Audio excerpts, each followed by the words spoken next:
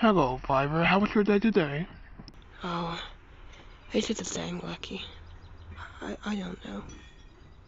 Fiver, is there something bothering you? No, it's nothing bothering me. I'm, I'm okay. I'm, I'm fine. It's Vervain again, isn't it? Don't even say his name. Oh, he threatened to kill me over a drink. He threatened to kill you over a drink. When first name is wrong with that rabbit? He, oh, he makes me angry. It's okay, Lucky. Really. I'm fine. I really am.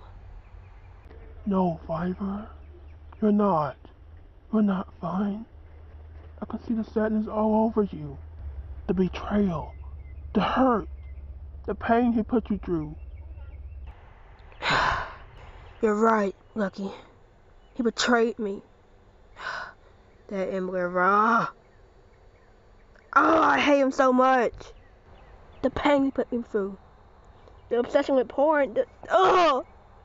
Just calm down, Fiver. I know every single thing he did was unnecessary. It was ignorant, foolish, and evil.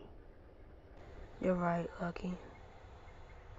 I wish I could just reverse time and just this never happened, and we could be still friends. He didn't, he didn't used to be like this. He changed on me. He changed forever on me. I know, Fiver. I know how much it hurts. But even though how many friends we may lose, and how many others will betray us, we have to keep moving on. It's life. Okay? Okay.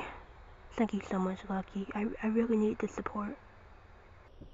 You're welcome.